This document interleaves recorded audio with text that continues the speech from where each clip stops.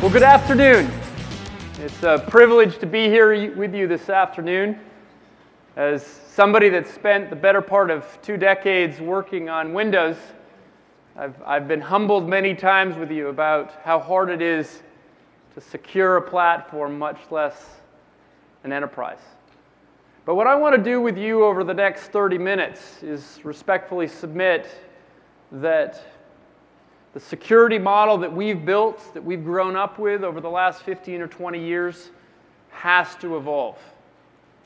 It has to evolve, and yet I believe that we have the tools, the data set, and the capabilities in this room to evolve it so that we're moving from a conversation around security or not insecurity, compliance or non compliance, to one of risk and the appropriate prioritization and focus on the business processes.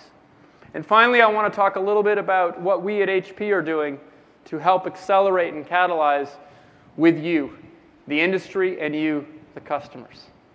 But to do that, I want to just start just quickly and take you back to a story and a, set, and a conversation I had last year. It was right after Stuxnet came out, and I was with a, a group of CIOs in one of these customer advisory discussions, and they were, they were discussing obviously the, the fact that you could target a nuclear reactor in Iran, and they were talking about the conversation that they were having with their CEO. The question, are we secure? Are we compliant? And they were laughing ruefully, that the only honest answer to that question was no or I don't know. And yet, as